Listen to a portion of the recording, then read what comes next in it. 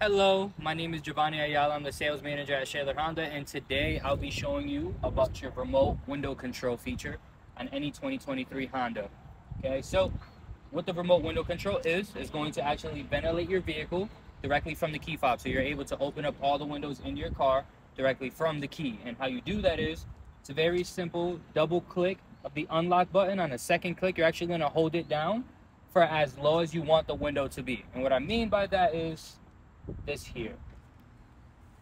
So you'll see that the window stopped going down as soon as I release the button. Now, if I wanted the window to go all the way down, I'll do the double click again, hold it down until the windows are all the way down, okay? I really like that the vehicle actually allows you the opportunity to set how much, uh, how open you would like your window to be, okay? Now, if you wanted to pull your windows back up without having to turn on your vehicle and all that fun stuff, all you're going to do is go to the back of your key fob here. You're going to use your nail to slide that piece to the side and pull the physical key out. Now, when you pull the physical key out, you're going to put it into the keyhole that's in the door. Two clicks to the left, and you're going to hold it on the left, on the second left turn. And it'll pull all your windows back up for you.